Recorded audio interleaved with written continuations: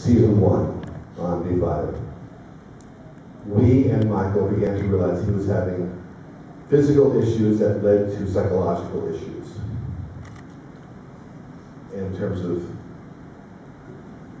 you know delusional behaviors. you, it's the kind of thing where you see messages to yourself in newspapers and magazines, or you hear voices, or you're being surveilled by the FBI, those kinds of things. And Michael was having issues, he was aware of it, we were aware of it.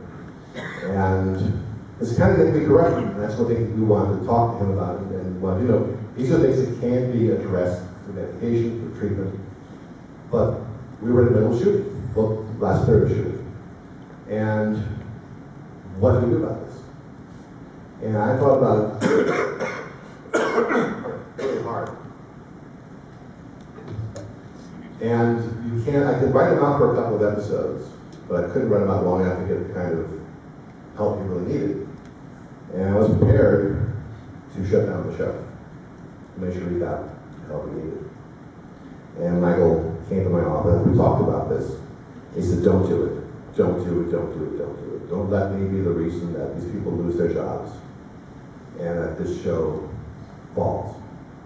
Let me try, let me try and get by. And those three words, let me try, uh, are kind of like giving me a chance in my kryptonite. And if I hear that, I have to back and play. Always have, always will. And he soldiered on under a burden that no one else knew about. And he got through that season like a man clinging to a cliff by his fingernails. And I could see him suffering. I could see him fighting every day stay controlled, stay focused. And again, the raw, naked courage of the man to keep fighting. And we finished the season, and no one knew. and he knew he wasn't going to be able to come back for a second season. I knew it. He, he, couldn't take the strain. And he needed to get the help he needed. so we agreed to part ways at that point. I said, I will bring you back to finish up your arc of your character. We will shoot a short scene now that I can drop in at some appropriate point in the story, saying you're going to come back, giving a message to Garibaldi. Don't worry about rent or food, or that's, don't, don't just take care of you. And he spent the next X number of months. His family came to the fore, his friends came to the fore, my wife at the time, Kathryn Drennan, was a huge help to him. Uh, Sandra Bruckner, who later on ran the B5 fan club, uh, is aware of this, um, was a huge help. And they were working through various meds with him to get you know, him on target. And gradually began to work, began to, to take root. Uh, it was a hard, hard, hard process. Um, and we went to, uh, to, the first convention we had to do after that was, I think it was Icon Island. Uh, it was Icon. And Michael was there. I made a point to be there for him with Michael. And I was seeing him right before he went in. And he was pale from the medication, and his hands trembled. But he was determined to go on. And what was amazing was I saw him walk into a room with you, with the fans. The color came back to his cheeks. The confidence came back.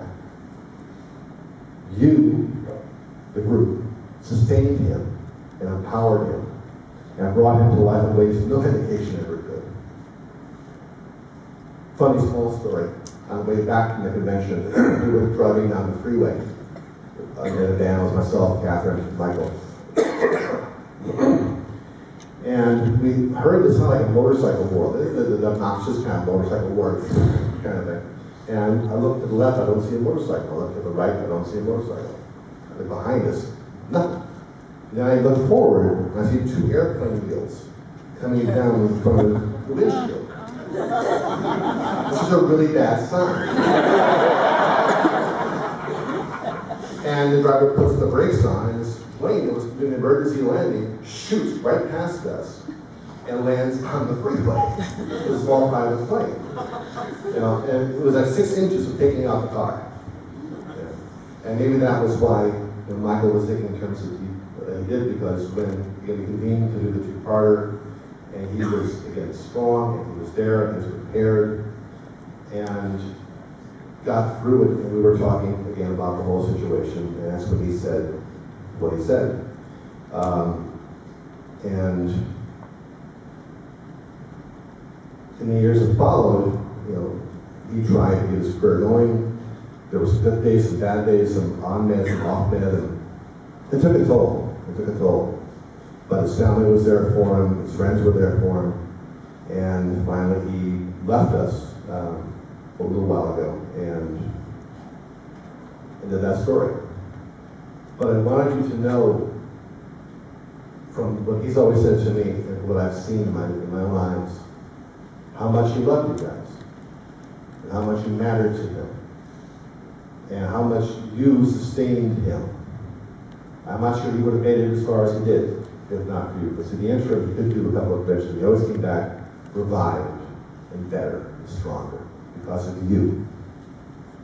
And my hope is that the people who are on this program are still with us a thousand years from now. I don't know if that will be the case. So, as you move amongst them, as well as celebrating what has been done and what is being done, take a moment and look at them as Andreas looked at us. Be generous with your kindness, with your words, with your affection. Remember the moment. And when you go home, take that with you. And look at your friends and your family as Andreas looked at us. Hold those moments.